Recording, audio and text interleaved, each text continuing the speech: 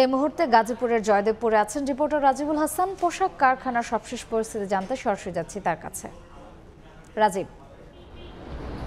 শিল্প দূষিত গাজীপুরের যে উত্তেজনা, সেটি আসলে কোনোভাবেই থামছে না। বিশেষ করে আজকের কথা যদি বলি, যে পোশাক কারখানার শ্রমিকরা সকালে কাজে যোগদান করেছিল বেশিরভাগ কারখানারই। তবে কাজে যোগদানের পর, অর্থাৎ ঘণ্টাখানিক পর বিভিন্ন স্থান থেকে খবর আসতে থাকে যে শ্রমিকরা আন্দোলনে নেমেছে।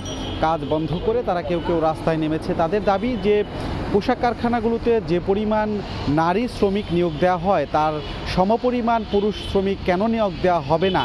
তাদের দাবি যে নারীদের তুলনায় আসলেই পুরুষ যারা শ্রমিক, তাদেরকেও নিয়োগ দিতে হবে এমন দাবি করেই তারা কিন্তু আন্দোলনে নামে এবং গাজীপুরের যে চান্দনা চৌরাস্তা এবং মাওনা ঢাকা ময়মনসিংহ মহাসড়ক অবরোধ করে সেইখানেও অবরোধ করেন তারা এবং আন্দোলন করতে থাকেন। তাদের যে দাবি এবং আরও কয়েকটি জায়গায় আমরা খবর পেয়েছি এবং দেখেছি যে তারা বকেয়া বেতন এবং ইনক্রিমেন্টের দাবিতেও আন্দোলনে নামে শ্রমিকরা। এরপর কিন্তু যেসব কারখানা আসলে সচল ছিল, যেসব কারখানার শ্রমিকরা বের হয়নি, সেই সকল কয়েকটি কারখানায় গিয়ে এই আন্দোলনরত শ্রমিকদের একাংশের কিছু লোক আসলে কিছুটা ভাঙচুর চালায়।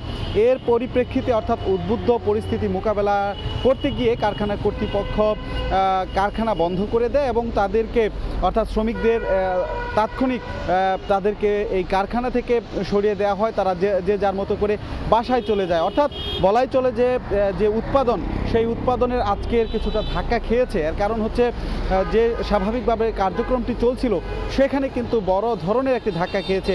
যে দাবিগুলো বলছিলাম, এই দাবিতে তারা কিন্তু একটি, দুইটি স্থানে নয়, বেশ কয়েকটি স্থানে তারা রাস্তায় নেমেছে, আন্দোলন করেছে। পরবর্তীতে অবশ্য আইন শৃঙ্খলা পরিস্থিতি আসলে স্বাভাবিক করার জন্য শিল্প পুলিশ থেকে শুরু করে আসলে যৌথ বাহিনীর সদস্যরাও বিভিন্ন জায়গায় কাজ করেছে।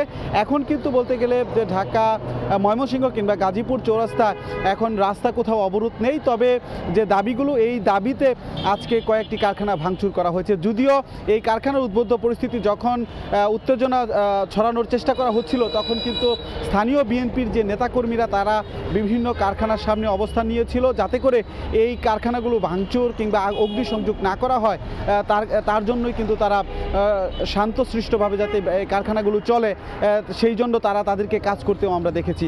মোটামুটি এই ছিল শিল্প অধ্যুষিত গাজীপুর থেকে আমার কাছে থাকা সবশেষ তথ্য। পোশাক শ্রমিকদের বিক্ষোভের সবশেষ জানতে সরাসরি ছিলাম গাজীপুরে।